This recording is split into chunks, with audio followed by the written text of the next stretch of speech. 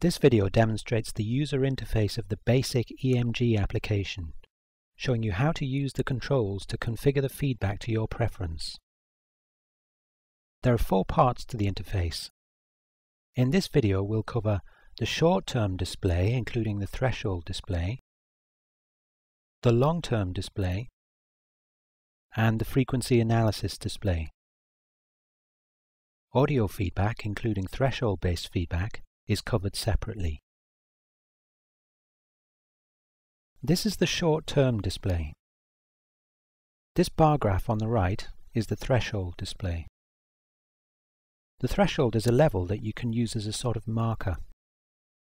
You can drag this bar with your mouse to move it. And this dotted yellow line also shows the level. There are three controls for the short-term display shown below here. The first combo box allows you to set the level of averaging. This controls how smooth the trace looks. I like to set it to 2 seconds.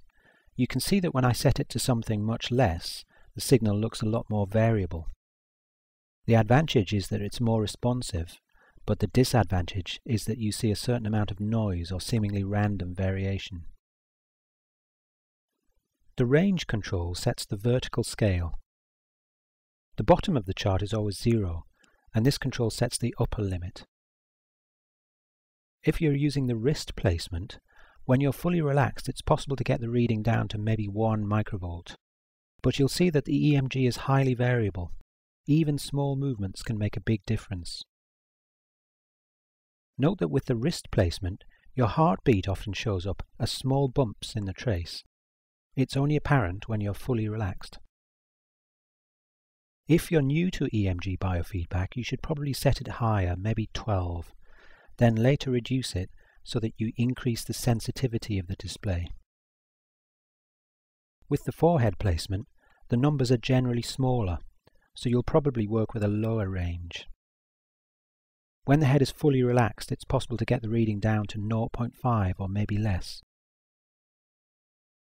If the trace disappears off the top of the chart, you can see the actual reading in this numeric display here. The fourth control sets the length of time it takes for the trace to traverse the whole chart from right to left, or in other words the horizontal range. You can see that if I set it to something lower, the trace goes faster. This control sets the frequency filter, I'll say something more about that in the context of the frequency analysis display. This is the long-term display. It works like the short-term display, but over a longer time scale.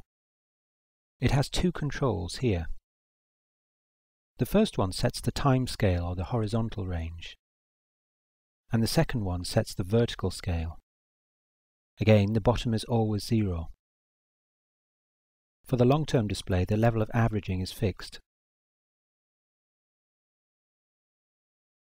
This display shows the frequency analysis of the raw EMG signal. Its meaning is obscure and technical, and most people can ignore it completely. It's based on the idea that the raw EMG is a rapidly oscillating signal made up of a wide range of frequencies. The chart shows the distribution of frequencies over the horizontal axis. The range of frequencies is set by this control, labelled filter, which I mentioned earlier. There are only two choices, one wide and one narrow.